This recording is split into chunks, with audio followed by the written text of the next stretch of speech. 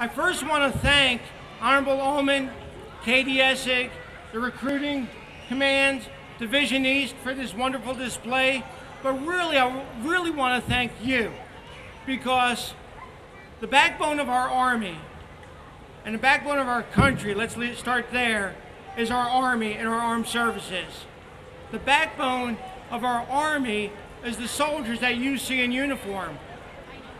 But really, the commitment and the backbone of our soldiers is our family and friends in our community. And that's exactly who you are.